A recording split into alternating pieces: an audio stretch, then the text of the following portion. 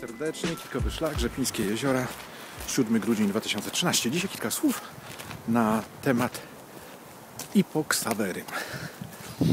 Ksawery, czyli e, tak nazywał się ten huragan, ten orkan, czy jak go tam zwać, który, który wczoraj, przedwczoraj przechodził przez, przez e, teren części Polski, przynajmniej tej północnej, tej zachodniej, tutaj naszej.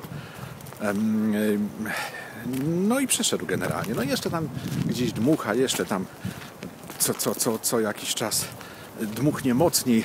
Sporo tu tych gałęzi połamanych, porozrzucanych, ale już jest po nim, już jest po nim. I tak chciałem troszeczkę nawiązać do tego wczorajszego tematu, tym dzisiejszym tematem, bo wczoraj mówiłem o huraganie, właśnie o nim i o tym huraganie, który dzieje się w naszym życiu. I, i jakby chciałbym to uzupełnić może i może parę drob, w jakiś tam drobny sposób troszkę sprostować, żebyśmy mieli pełną jasność. Oczywiście, kiedy pojawiają się huragany w naszym życiu, one dokonują często zniszczeń, wielu zniszczeń. I jest to naturalne, tak? Normalny huragan, ten, ten, ten, ten, ten, który gdzieś tam się pojawia nagle z powodu różnych zmian pogodowych, dokonuje wielkich, wielkich zniszczeń.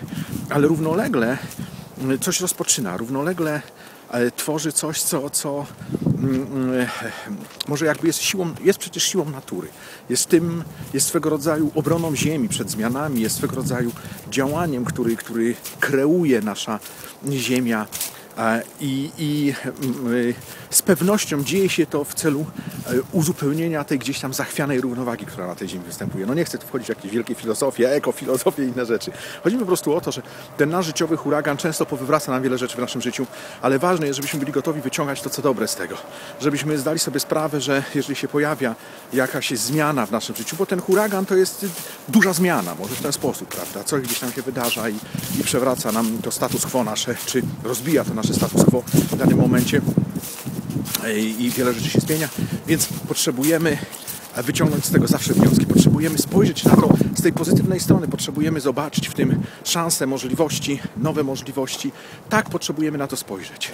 E, Oczywiście no, policzyć straty, bo tak to zawsze wygląda, E, urealnić tam całą sytuację, tak jak jest po tych wielkich huraganach, że patrzą, prawda, jak to wyglądało, e, e, co, co, co, co to sprawiło, ale z drugiej strony jakby rozpocząć nowy etap. Wierzę, że to jest bardzo ważne. Ksawery mija, tu jeszcze troszeczkę dmucha.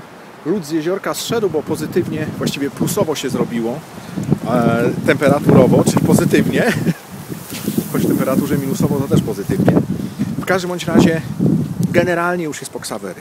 I, I tak jak po takim huraganie już wszyscy mają lepszy humor, już gdzieś tam przeżyli coś e, trudnego, tak w tych naszych życiowych przeżyciach, w tych przełomach różnych, w tych różnych sytuacjach potrzebujemy, jak mówię, spojrzeć na to, co w tym dobre, spojrzeć na to, co korzystnego z tego wynika i ruszyć do przodu ostro, z taką zdwojoną siłą.